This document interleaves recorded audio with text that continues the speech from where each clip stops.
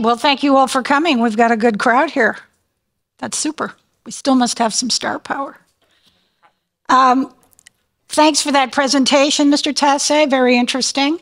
Uh, what we're going to explore on this panel with three practitioners of the corporate art, if I can put it that way, um, all of the uh, the various aspects of corporate ownership structures. Um, just as an overview, Canada allows dual class shares on its exchanges, but some countries do not. Some exchanges do not.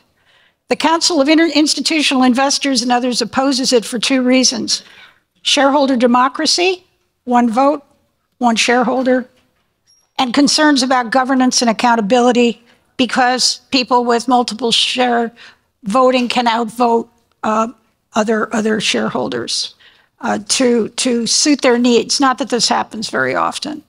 So, to discuss these and other issues, uh, our panel is uh, quite esteemed, and I have one declaration of conflict. My husband is John Beck. Okay, so he's going to get the softball questions. For sure. I have a conflict too, not just her. okay, our uh, first uh, right to my left is Michael McCain, known to every Canadian, chairman of Maple Leaf Foods, one of Canada's most successful multinational corporations. It's controlled by the McCain family with 40% of the stock, okay? No voting, non voting shares, no dual shares, multiple shares, uh, vote, votes, I mean. Uh, then there's John Beck, uh, founder and chairman of the Aecon Group Limited, Canada's largest construction company, which grew from a small family business started by John's parents and is now a widely held corporation. And then we have Louis Audet, executive chair of Cogeco Inc. and Cogeco Communications, a successful telecommunications and media company in Canada and the United States. It is controlled through multiple voting shares by the Audet family. So we have three representatives of different kinds of structures of families. So I think that we're going to have a terrific um, uh, discussion. Now I'm going to, in order of seating, they're going to each talk for four or five minutes from their viewpoint about the about the uh, presentation, but also about all these various issues surrounding ownership.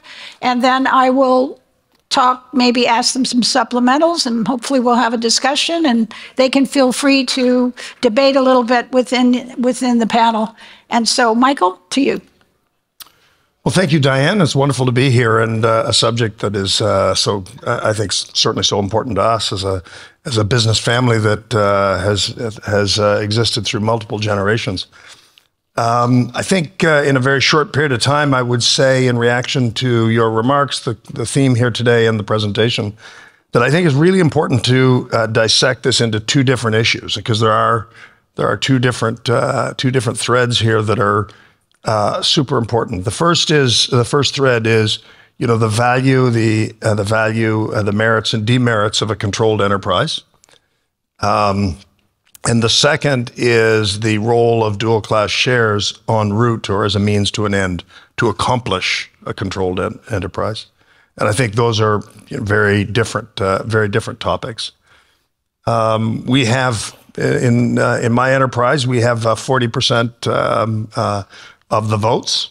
Um, and I will declare myself, I'm philosophically opposed to the use of dual class shares and have been all my life. Um, and I believe in the democratic principle of one share, one vote. And that's been, you know, kind of realized through the, uh, the uh, business that uh, my family uh, leads. We do take a controlling position in that family or in that business. Uh, we describe ourselves as owner operators. Uh, that is in not you know we don't have our we're we've got our hands on the wheel, uh, so to speak. Uh, but I believe in the in the the efficacy or the merits of a controlled enterprise for three basic reasons. The first is horizon. Uh, the second is um, is a you know care and interest in the community, uh, and and the third is a multi-stakeholder view. Uh, in terms of horizon, you know, I think short-termism is one of the curses in society, not just in business, uh, but in in the corporation, in the capital markets, in politics, even in consumerism today. And I think that uh, that a controlled enterprise can uh, can can um, overcome that. Uh, with respect to multi stakeholderism, I think there's a, a greater propensity of a controlled enterprise to have a multi stakeholder view, notwithstanding the paradox of family control.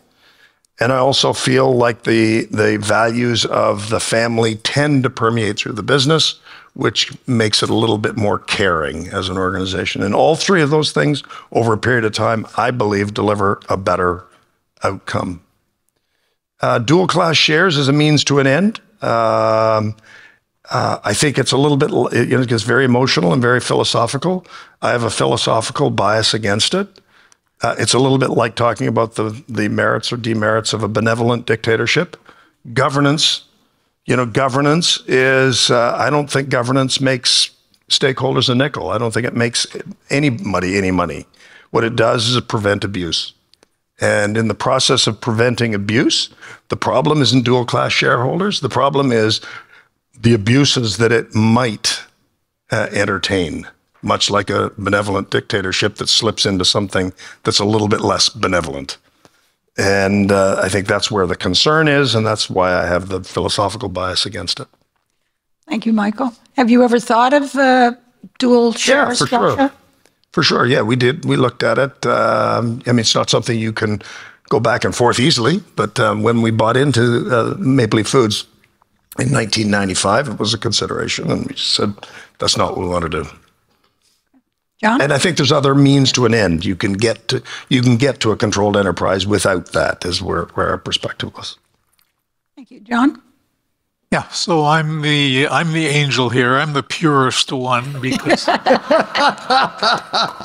because we run a complete democracy, and so we one vote uh, per shareholder, no matter what. Uh, there is no controlled block. In fact, uh, I think the biggest shareholder is five or six percent of our company, so it's very widely held. And we believe that that mechanism assures the best outcome for the owners of the corporation that are their shareholders, all the owners. And the way that works is we have independent directors, eight out of 10 are independent, selected by votes of the shareholders they um, send a message, a societal message, if you wish, uh, to the board for the right uh, protection of their interests and for their wishes um, for proper E, S, and G, best in class practices, and they want to make sure that that takes takes place. And so, on our board, we have a variety of independent thinkers who talk about the E, who talk about the S, who talk about the G, and who keep management uh, accountable for all of that. The biggest, most important job of a board is to hire and fire the CEO. That process should be a completely independent and pure process rather than one which may be influenced by certain power blocks within within the organizations. Uh, I believe we've been public for over 50 years, and we've had many many events, and I'll talk about that later, about times where the shareholder vote was the most important factor in the decision and how the company moved forward. I've run, I've been, I was CEO and now I'm chairman of the company long ago gave up control through acquisitions, through mergers and growth for the company in the benefit and the interest of the shareholders. But I continue to influence the board through moral authority, not the number of votes I have, but the credibility and the history and the culture of the company of which I'm fiercely protected. Interesting. Great. Thank you. Louis? So, uh, good morning, everyone. So, first off, I would like to congratulate my co panelists for having managed to maintain control of their company without dual class shares. I think that is a remarkable achievement. Um, I know that if we didn't have multiple voting shares, having become a public company in 1985, we would have disappeared 10 times. So uh, you, you can understand why we think it's important. Um, what we have heard this morning is a scientific paper of which you can get a full copy. And what it does, it examines scientifically what are the returns, what are the impacts on the environment, what are the impacts on society, and they conclude that the governance that is behind these numbers make these numbers possible. And, and that's why the question about governance is, in my opinion, seriously in doubt. Now, what are the ingredients? And I think John uh, and Michael have alluded to them. The ingredients are you need a strong board of directors made up of independent directors for the most part. Uh, in our situation, they're all independent except two the CEO, who's employed by the company, and myself, employed uh, family representative, which we choose very carefully for their expertise. And they discharge their responsibility to shareholders in a very professional manner. Um, and so, and we now have a CEO that is not family related, and that is a normal evolution. I think families more and more become more custodians of the um, of the culture of the company, of its general orientation, um, of what we wish to get involved in and what we will never get involved in, because that's very important. Now, um, I would like to, with respect, uh, correct a few things here. All the major stock exchanges in the world allow multiple voting shares. Brazil, Mexico, United States, Canada, Denmark, Norway, Sweden, Finland, Italy, Singapore, Hong Kong, Shanghai, New Zealand. The only two major stock exchanges that are holdouts are France and Germany. So, and France and Germany are actively considering uh, agreeing to uh, the multiple voting share structure. Now, why would they do that? They do that because they understand that if they don't, entrepreneurs will not register their companies on public stock exchanges. They'll do something else. Now, whatever they do, I don't know. And when you make a decision like that, you somewhat limit your financing options. That's why we became public. But it, it is a sufficiently high pressure for them to have decided to allow dual class shares. Now, the other important point here I, I would like to uh, discuss is democracy. Corporate democracy is not citizen democracy. So, citizen democracy is one person living for, eh, for hopefully more than 85 years and voting on its future. Corporate democracy is made of voters who come in and out of a stock. Some of them come, out, come in for six months. Some of them come in when they smell blood, and, and if there's blood, then they stay. If there's no blood, they leave. Um, so these two models of democracy, they are not equivalent. Now, the last point I would like to touch is the question of abuse. And Michael, I never really considered myself as a benevolent dictator, but you know what? Maybe it doesn't feel bad. but, but this is an, an important point. Um, consider corporate history. There have been abuses by multiple shareholders. The, the most egregious of which, of which was the um, um, sorry, it's escaping my mind now, uh, that happened when they monetized their multiple voting shares at a very high price. That was Magna, Magna International. That was probably the worst example of a family controlled company abusing the system. Now everyone has a coattail provision. We have a coattail provision. If we ever accept an offer that is 15% above market, all shareholders can avail themselves of the same offer. But there are also abuses in non controlled companies. Think about Nortel, think about Valeant. These were, uh, Valeant was highly rated by the report on business of the Globe and Mail. Um, but look at what happened. They screwed up. They actually dishonestly hid key information. Whereas the study has shown that family companies make a point of disclosing more than other companies because they realize they enjoy a multiple voting share privilege. So these would be my opening comments, uh, Madam Chair. Interesting, interesting. All, all, all of you, interesting viewpoints.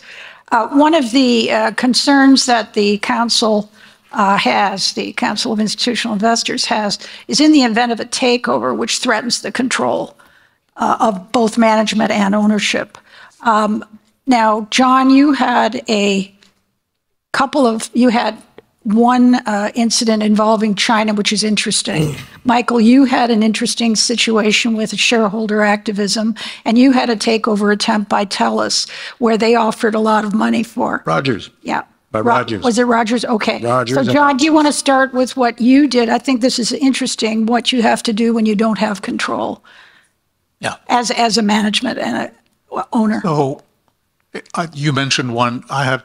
I can give examples of four different instances where shareholder power counted.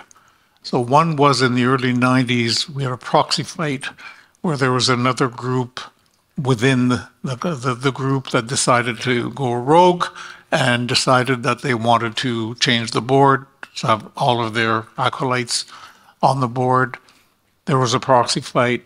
There was a vote, wide open, and the vote turned down their proposal. They resigned, and our board uh, succeeded. And that would not have happened had we not had full voting because they'd accumulated an almost controlling block.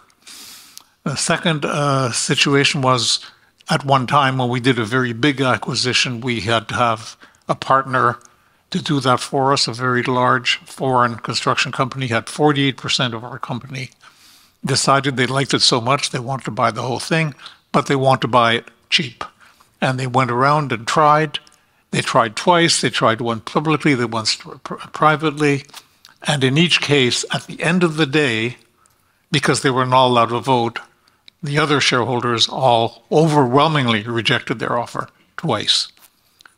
Third, op- third opportunity for complications was a major activist attack, which thought they should try to change the board. And again, the shareholders were there to block. And then the one you referred to, the Chinese offer, uh, which was now five or six years ago, was a very high offer, very generous, voted on by our shareholders, 98% in favor. That was the power of the shareholder saying, this is value for us, better value than you, John, can do generating your own uh, continuing activity, and was recommended and approved by the board. And the government decided to step in and, and block that, which we respect. Uh, and in hindsight, probably was a good thing. So, four different instances where the power of the shareholders, all the shareholders, kept the thing on the kept the business, in my view, on the straight and narrow. Michael? Yeah, I want to. I, I do want to reiterate that I am a, an enormous advocate in uh, the long-term multi-stakeholder benefit of a controlled enterprise. I'm enormously advocating that, notwithstanding my debates with the other. The active, the, the activist shareholder, uh, kind of the takeover risk that you describe, um, is uh, enormously challenging in our environment because uh, we own four, my family owns 40% of the shares. So uh, to uh, take control of the enterprise, uh, they have to get some 85, 90% of the remaining vote. And even if they get 85% of the remaining vote, we don't have to sell our shares, and we have no fiduciary duty to other shareholders. We can say, well, that's fine, buy all you want. We're holding on to ours, which says to any other strategic player they can't consolidate or access synergies. And it says to any PE firm, they can't pile on debt. So it, it really makes it an almost insurmountable object uh, when it comes to the takeover calculus. Having said that, we had one individual give it a try um, in 2010 for reasons that I understand at the time. There were some unique nuances. Um, and he did the classic, you know, there's a there's a playbook for activism that is, uh, you know, I think there's a course somewhere in a in an MBA program that's called the Activist Playbook, and and they play they run that playbook, you know, universally and consistently, and he ran all of that. Um, you know, the first 12 months, we, you know, we fought like cats and dogs at the board level.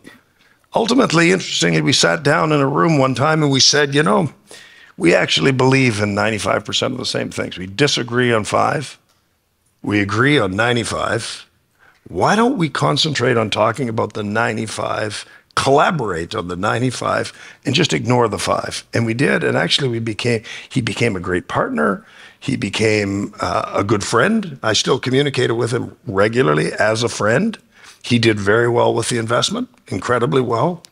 And I think he would, and he, he was completely additive to the business. But he was additive not as a takeover artist, but as a collaborator, a very big brain who wanted 95% of the same things. So it actually worked out pretty well. I, you know, um, as I left the CEO's chair a year ago, I called him and I said, you know, I want you to know that you added tremendous value to this business in the experience that we had, even though it was rocky in the first 12 months.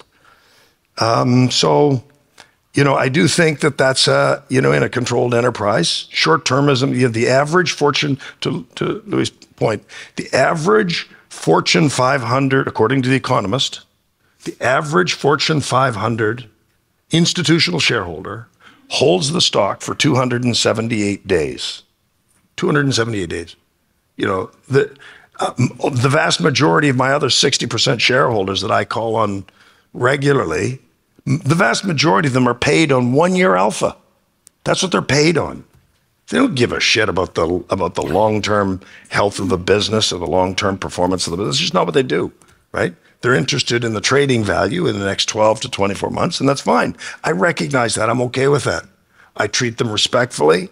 I try and align with shareholders that do have a longer term perspective so that they're happy. I don't want dissatisfied shareholders. I want happy shareholders, but they have to be, you know, they have to understand what they're getting when they come in. They're getting a long term view. They're not getting, they're not getting a quarter to quarter junkie and uh, you know it's working it's working pretty well we have you know shareholder value ebbs and flows we if we do a large if we do a large organic capital investment we just finished one over a billion dollars here recently and putting new plants on the ground. It by definition means that our stock's going to be flat for four or five years because the, the capital markets will not value organic large scale large scale investments like that. And I say, too bad, so sad. We're, it's going to be great when it's done, and they recognize that. So, yeah. you know, it's uh, it's threading a needle. I believe in a long-term enterprise. I don't necessarily believe in benevolent dictatorships. Not that many of them aren't great. Yours is great, Louis. It's great. It's great. and I'm I'm super proud to know you. As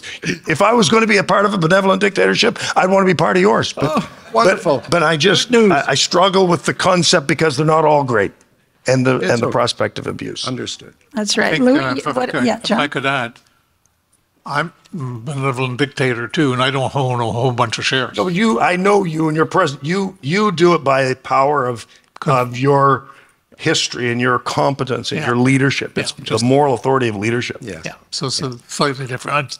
Two other points. The first one is the fact that that fellow came along and did very well in the shares meant that the power of the shareholder worked. Yeah. In that case, that's what I've been talking about, all shareholders.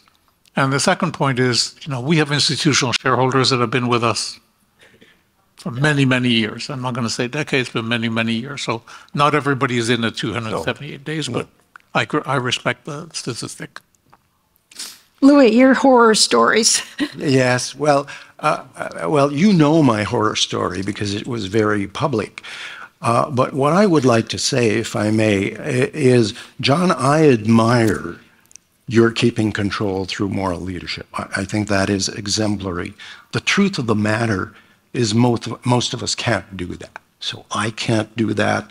The 70, uh, the 69 companies of the sample of 90 that are multiple voting shares controlled probably couldn't do that either.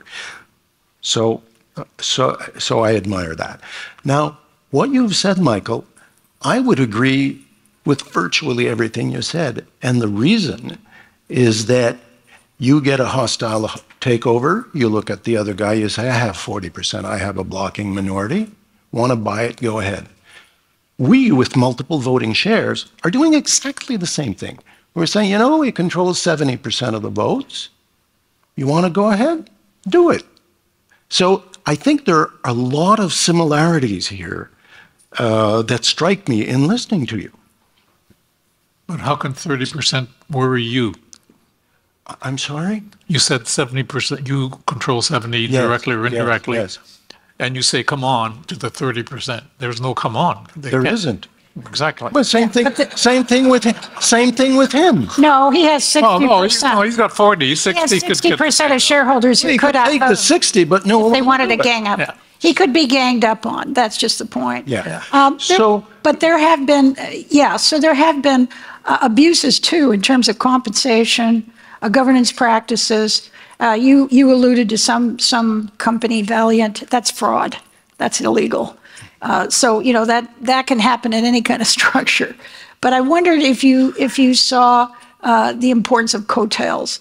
Let's talk about coattails because I think that's important because investors don't have a lot of choice. There are a lot of dual voting shares out there, and you want to make sure that you have picked one of the right ones that's ethical. So explain what coattail provisions are, and I think that's important. Yes. And if you guys could respond. All right. Well, thank you for that.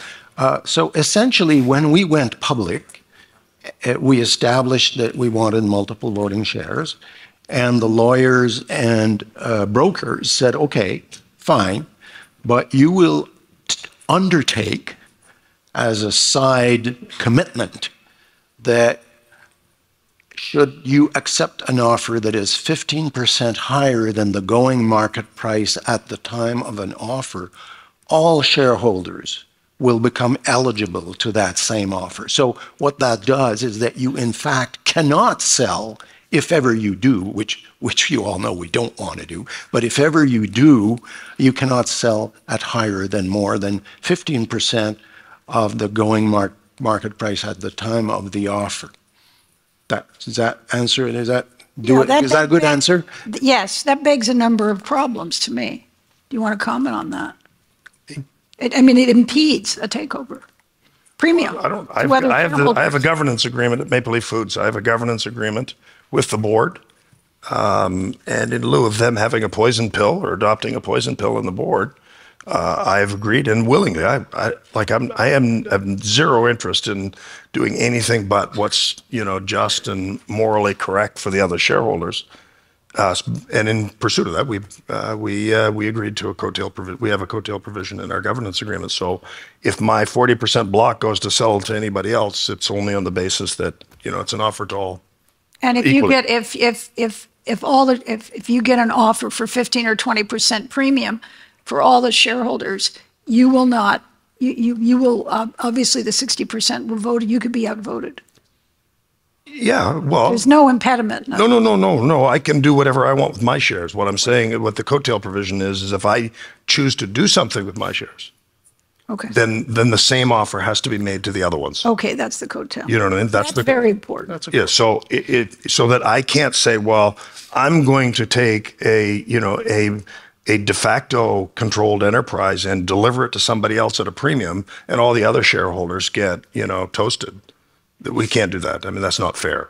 Okay. So if we go and we say we've got a 50% premium for the families block, uh, then that same 50% premium needs to be offered to all the shareholders. And I, like there's there's just rules of fair play. fair. It's There's just rules of fair play, and that's just rule of fair play. Oh, I have an even better rule of fair play. Wide open for all shareholders, no coattails.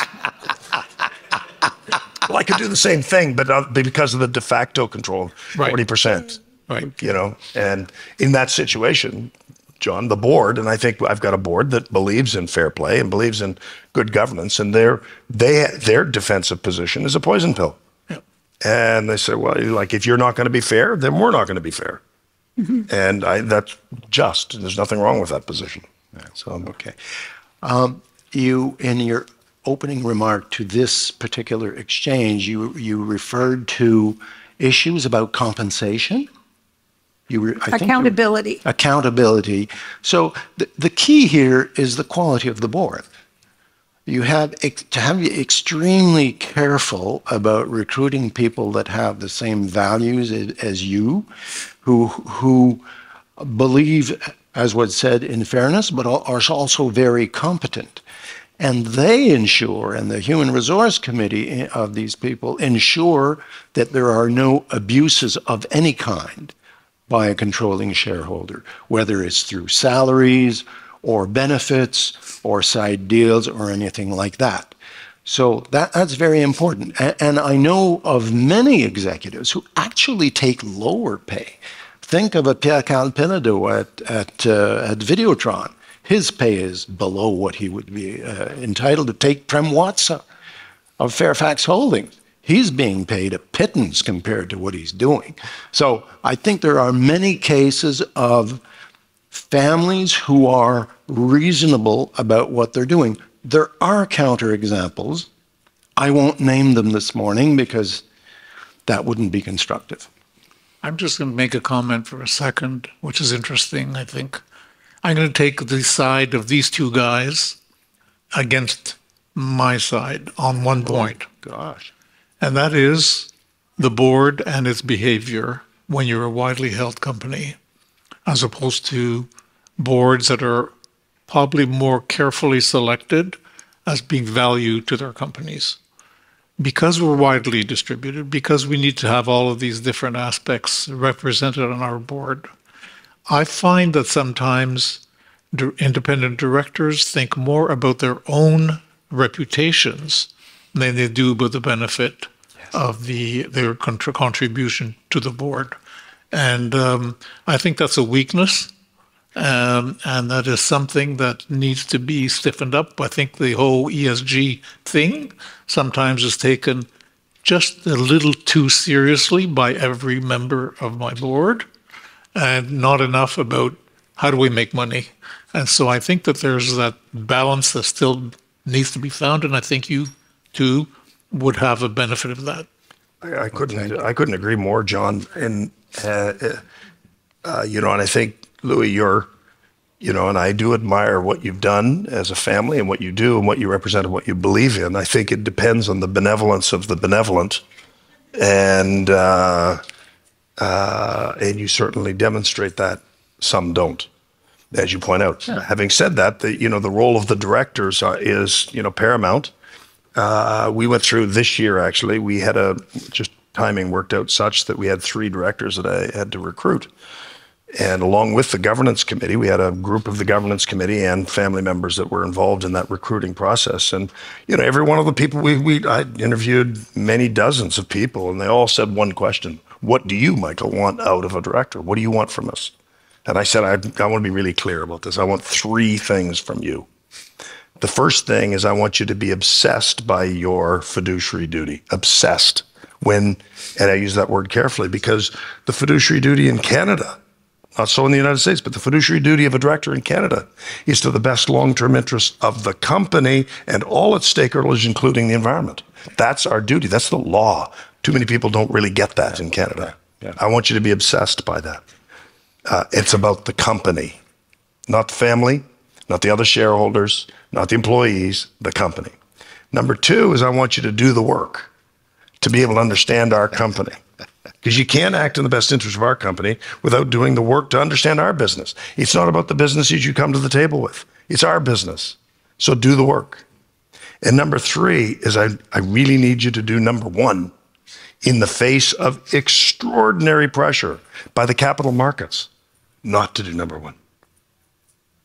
Right? Interesting. The capital markets pushes people, directors, not to act in the best interest of the company, to act in the best interest of their shareholdings now. And it's an, ex- to your point about reputation, it's extraordinary. The directors are not representatives of the shareholders. They're appointed by the shareholders. They are act in the best long-term interest of the company and all its stakeholders. Uh, interesting comment. I interviewed uh, Hartley Richardson. Richardson family is probably the, the record holder of family controlled enterprise in Canada, five generations. They usually bomb out after three. Um, but five generations. And they're in finance, they're in agriculture, renewables, energy, tremendous uh, uh, company uh, enterprises, some public, some not. And I remember saying to Hartley, How have you kept it together in the family for so long and still outperform and are best in class in everything you're involved in? And he said, We have one rule in our family is no member of the family at this point, after five generations, it's probably 400 people that are getting coupons from Richardson Enterprises, okay, four generations, cousins, and so on. No person who's a member of the Richardson family can have a line position because we have to be able to fire anybody.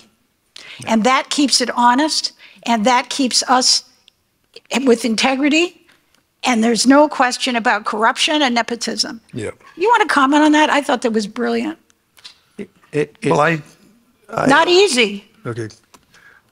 Yeah, I had the, the, I was invited to speak at the F- Richardson Family Conference with all of those generations from young to very old uh, about six months ago. Hundreds, right? and hundreds of them in the room. And it was Once a year. enlightening, inspiring, and entertaining all, all, all at the same time. And uh, they've they've clearly done it right. They've done it I, right. you know, there's lots of different philosophy. You know, being being involved in family businesses for so long, there's lots of different models attached to that. I um, uh, one of the one of the greatest leaders in the food industry, Anthony Longo, 26, 28 stores in, in Ontario, and he had 14 family members in the business. And I said, Anthony, how the hell do you manage that? Like it was just astonishing. that's but honestly, it's their family culture. They're able to manage it. I have other business. I have other families who their rule is you're not allowed a management job in the business. So it. I don't think there's a black and white, Diane. I think it goes. I think it depends on the culture of the family and how they make that work. Yeah. Um, and there's lots of different models. Yeah. May I uh, intervene? So it's a delicate question because if you want the next generation to understand what's going on, being an observer on the board is not enough. Uh, and I personally have lived, you, you have to start at the bottom and go up. So if your rule is, well, you, you can't have any family member as, as an executive, then it's very hard for them to learn. Uh, other companies I've seen, their rule is there, there will be no more than three family companies in line, com- in line positions in this company. Other companies will say, uh, well, you have to have a master's degree and you have to master three languages. And it's, that sort of conditions the pool of who is able to aspire to the best job. Uh, and sometimes they never reach the best job, and, and, it's, and that's okay as long as the family maintains the philosophy with regard to excellent performance over the long term, care of the environment, care of the communities in which we operate. John, you, have you've, you've been a consolidator, so you've taken over a lot of family businesses Yeah. along the way and inherited a culture that was may, maybe riddled with nepotism. How have you dealt with that? That's right. So what we tr- try to do as best we can is to preserve whatever culture exists in the organization that's made it successful. We certainly don't want to reinvent them. We don't want to say, here's the new rule book. Uh, we want to nurture that mentality, and we've been able to do that successfully. I just want to add one thing to these this this of boards and and CEOs and so on. I have a rule on my board every board member has to have been a CEO because they're the only ones who really understand what it's like to be CEO and therefore can be the best judge of the performance of the or not of, of the of the CEO. Not easy to achieve. Not to have an all CEO board is a very difficult objective. to And everybody has limits on how many boards they can have too. That's another Yeah, thing, which I think is a good rule. Yeah, Michael, it you- is. It is Michael, you wanted to say something? No. Wow, a maritimer who's quiet suddenly. Did we offend you? No, no, no. No, I'm I was just. I was absorbing John's comments, saying, "Geez, I admire that. I'm, I'd like to. I'd like to achieve that." So I'm absor- absorbing that. The only, the only downside I think Those you are would the find. ex, they, Yeah. they could be ex-CEOs, right? No, I think one of the things you have to be careful of that, and I agree with that. I love that perspective. You have to be careful about the ability to get diversity of thought Yeah, at the same time. That's the watch out, I think. that's You know, true. that's They all think too much about making money. Yeah. Last, last thoughts? Louis, you start, John? Uh, well, last thoughts. I, I, I not really, but I think this discussion has been fascinating because I think that these three panelists are closer than maybe they thought when we entered the stage. If I may express my personal opinion, I agree you are the purest of the three, um, and Michael, uh, we're pretty, we're pretty close. My, my view is these are all variations on a theme. At the end of the day, we all want the best for the shareholder, there's no question. And I think it's just a matter of what works in each particular circumstance and adapting to that circumstance. Michael, last word. Well, I, uh, the, where I'd leave it with is uh, we have in our enterprise a deep commitment to multi stakeholderism, which is we want the best thing for all of the stakeholders in the enterprise, including the shareholders. But we have, I- I'm one of the few CEOs in Canada who's given at every annual meeting told the shareholders that we reject the primacy of shareholders. We reject the primacy of shareholders against the other share, uh, against the other stakeholders. And uh, I think that's an ever important prism uh, in capitalism that we should develop. Great. Thank you. Thank you.